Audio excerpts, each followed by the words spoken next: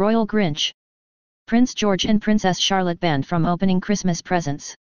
Prince George and Princess Charlotte will not be allowed to open all their presents this Christmas as William and Kate get strict on their children. The gorgeous young royals are sent thousands of gifts from well-wishers around the world every Christmas.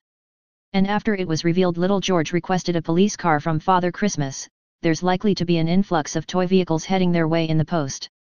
But it has been revealed that Prince George and Princess Charlotte will not be getting all the presents sent to them this year, to stop them becoming too spoilt.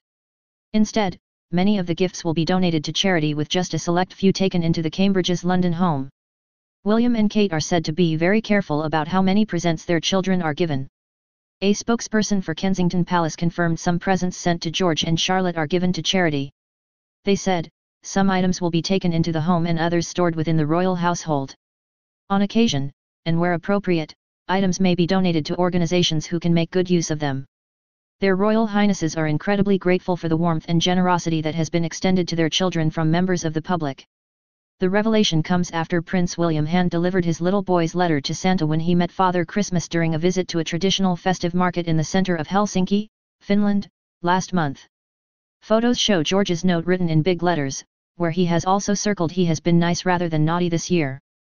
And while there were five slots for George to list what he wanted to open this year, all the youngster wanted was a police car.